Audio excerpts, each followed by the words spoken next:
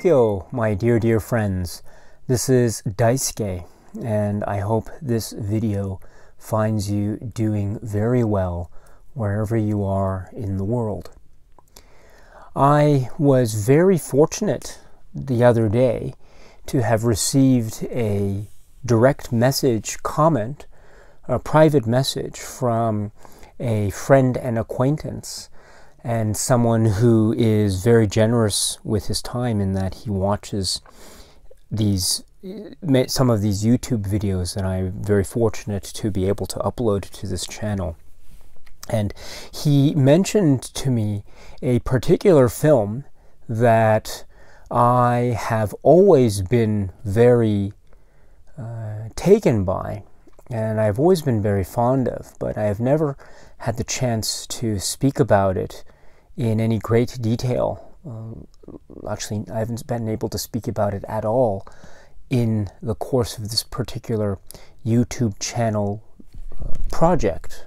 So, uh, but I do uh, love the film very much. Uh, I've seen the film countless times. I've read the novel upon which the film is based a number of times as well. I'm a great fan of the novel, in fact. I'm really enamored by it. I find it to be a really well put together, well written work that is quite clever in many places. With that in mind, though, I consider the film adaptation of this particular novel, and there has been, as far as I can uh, recall, only one film adaptation as of now. I find that particular film adaptation to be uh, utterly sublime, and dare I say it, uh, it might even eclipse the original source novel in many ways, many key, key ways. There are some changes that have been made with respect to the original source material versus how to translate some of the passages to the screen. And some of the choices that have been made by the filmmakers in question are nothing short of genius. They are genius in the sense that they are really transmit uh, so well what might be seen to be the general impetus or philosophy that is at play in the source novel. And yet, the film uses different sorts of grammar, of storytelling, uh, or different changes. Uh, and uh, there are so many key changes to many important scenes that the film becomes quite a, a, a remarkable thing, its own living, breathing entity, independent from the original source novel. Although I am also there to acknowledge that there are many similarities that keep both novel and film uh, healthily afloat in terms of believability and accessibility, and also in terms of uh, allowing the viewer to become fully immersed in the story that's being presented here. And what am I talking about? I'm talking about this film, which is uh, a film that is a merchant and ivory film. Um, and the the work is the remains of the day. The remains of the day. Now, I have this on a Blu ray, which is a Japanese Blu ray. It's not that well packed with a lot of special features or the like, but it is the film. And the the work is uh, Merchant and Ivory film, uh, and it is uh, James Ivory directing, um, Ismail Merchant and uh, producing. And also we have um, uh, Ruth Pralaj as well in terms of the, the writing of the script. Uh, adapted from the novel by Kazuo Ishiguro, starring Anthony Hopkins and um, uh, Emma Thompson. Now, if you will recall, this film was uh, sort of hot off the heels of another Merchant Ivory classic, also starring Anthony Hopkins and Emma Thompson in two br- brilliantly played roles. The film, of course, was Howard's End. Howard's End is a uh, a, a fantastic, fantastic work. And the novel by E.M. Forster is one of my favorites. In fact, it's it's one that I visit regularly um, in terms of novels that I like to reread. Uh, and it's one of the novels that I think I've re- reread most in my life. I think I reread it at least once a year. Uh, it's, it's so uh, it's so good, and uh, it's really interesting because it's not necessarily a novel that I would say is is immediately close to me in terms of the setting and the and the uh, the cast of characters and the like. But there's something quite uh, quite moving about the the the gravity of the shifts that occur within the context of that story and how well that's translated further into the Merchant and Ivory film played with such grace and such dexterity, and also with such viciousness, and also with uh, a an appropriate level of coldness that in turn becomes uh, sort of it transcends into something quite poetic. And so this is uh, at the heart, I think, of what Merchant Ivory does so well, especially during this period of their of their output, you know, the late 80s, or the, I should say, the, the 80s and 90s, uh, which in many respects can be seen as being a, a, kind of golden age of merchant ivory films in the terms of the cross section of critical uh, critical reception and also um, mass market appeal, as it were. And uh, I think that's the, where we get uh, the films that have gotten a lot of uh, attention in terms of Academy Awards and and all that. Uh, but uh, I think that is due to the fact that these are absolutely sublime works. And I have here Remains of the Day. If you haven't seen the film, uh, please do so. And I was pleasantly reminded of this film by a, as I said, by a friend and viewer who contacted me directly about having seen this film. And I was really taken by this because I, I admit I haven't really spoken about it because it hasn't really been in the forefront of my mind just for whatever reason. But uh, ever since I received this comment, it has uh, slowly regained a position in the forefront of my mind. And I recall it now with great fondness. Now, I should say that I loved Howard's End when it was first released in, in, and uh, in movie theaters. I actually saw Howard's End in the movie theater when I was quite young. I was still a teenager when I saw Howard's End, I think, and it was uh, quite remarkable. I think I was really uh, very uh, interested at the time in Anthony Hopkins and his work because he had just played Hannibal Lecter in a film called The Silence of the Lambs. And I think his next major film role was indeed um, in uh, Howard's End, and then uh, followed closely. It was his performance as Stevens in the, the butler Stevens in this film Remains of the Day. Uh, so there is a closeness in terms of the filmography of Anthony Hopkins, his acting filmography anyway. But uh, that was uh, just a kind of way for me to get into the stuff. It was an entry point for me. But once I got in, uh, there was no way for me to escape, and I, I, didn't even want to escape. I would love to have stayed in the world of Merchant and Ivory for, for forever, in the sense that there is a, a real, there is a, a, a real beauty uh, that's going on, but it's not beauty for beauty's sake. There is a, a, kind of of uh, beauty that is perhaps deceptive, but also it's true to life.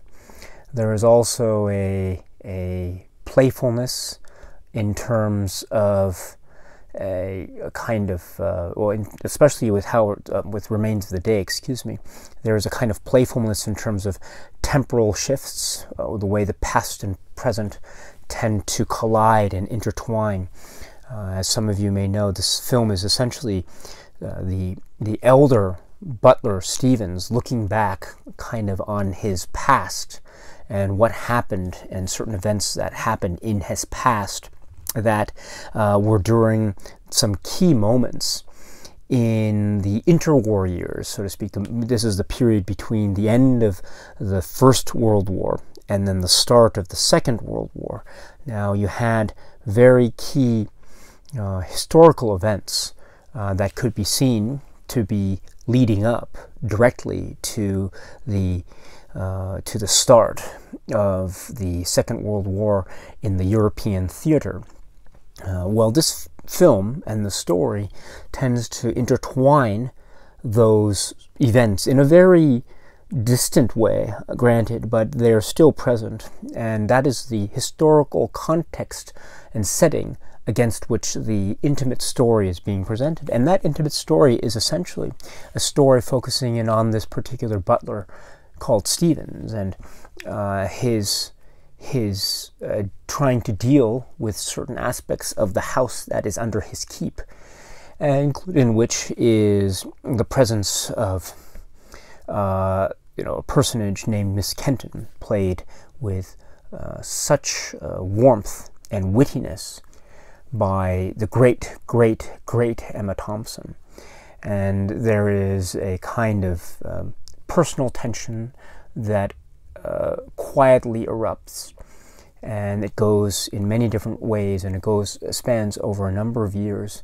And we see this relationship and how these intimate relationships tend to intertwine with the backdrop of these more grander, broader, quote unquote, bigger historical uh, historically based uh, uh, events that lead to uh, things that can shock, uh, that can lead to shocks to the system. And I, I mean shocks to the system uh, both historically and, and on a grand social scale, as we have seen with the Second World War, but also on an intimate and very, on a very micro scale. And that means in terms of the relationships that are fostered or that are not fostered uh, with with respect to the characters in question. So uh, uh, this was a film that I saw many many times. I had the great pleasure and fortune, good fortune, to have been able to see the film in the theater when it was first released. Because I was, as I say, I was a big fan of of Merchant Ivory, having just watched Howard's End, and now this was the film that was released in Kazuo Ishiguro.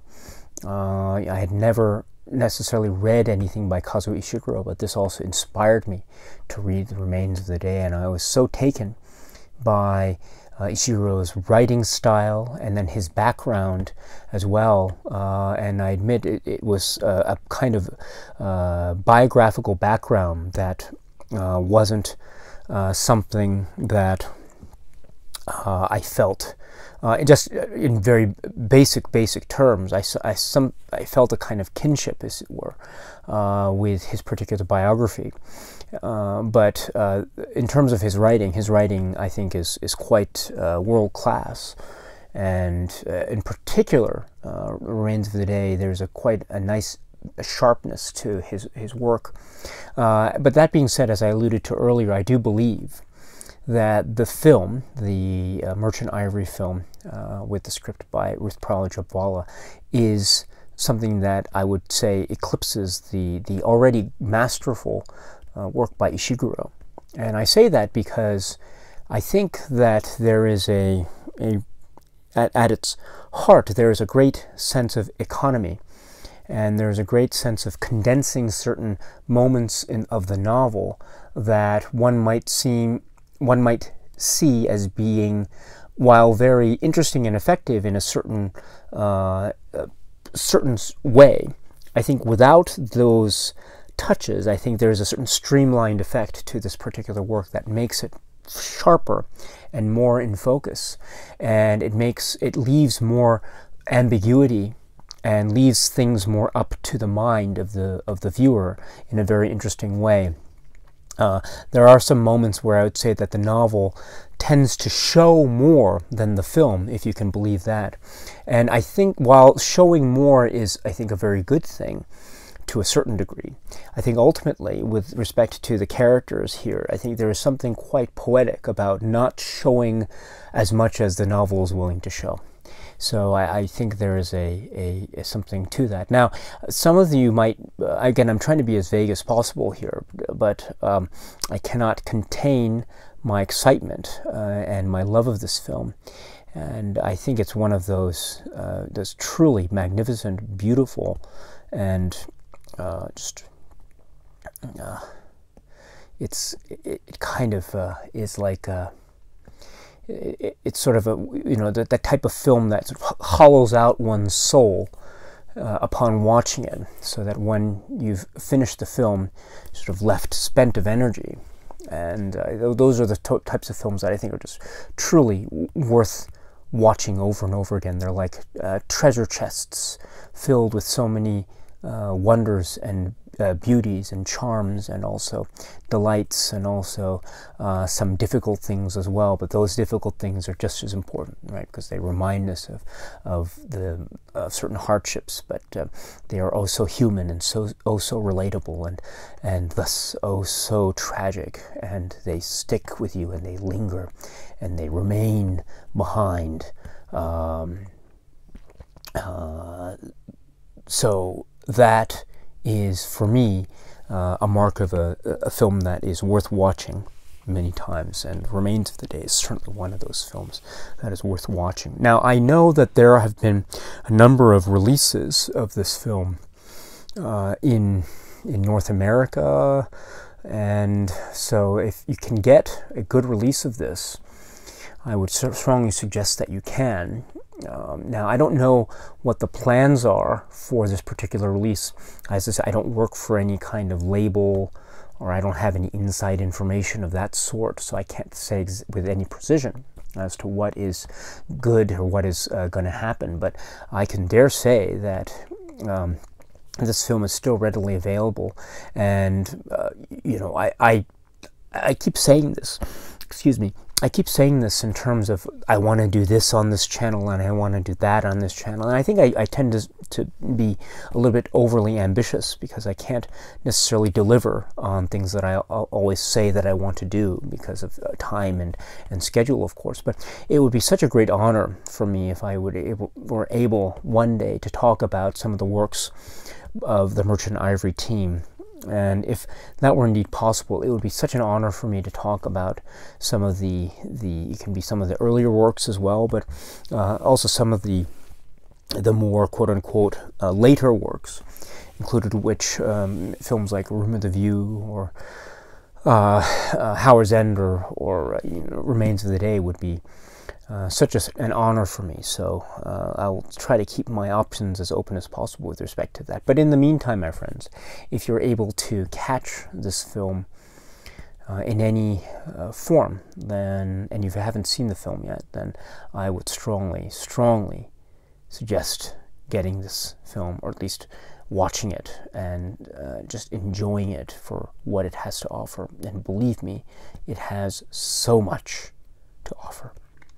Okay, my friends, that's it for this particular video. So thank you very much for sticking around. I'm, I'm uh, uh, very happy to see old friends and new friends uh, here at, at, this channel. It always makes me very happy and filled with a lot of energy. So thank you once again, my dear friends, for always being great examples for me of uh, wonderful, energetic, and friendly and warm film enthusiasts uh, who have uh, boundless levels of energy and always show me uh, and always give me um, wonderful um, reasons to uh, keep wanting to continue doing this uh, YouTube thing. So, thank you very much, my dear friends, and I hope you are doing very, very well.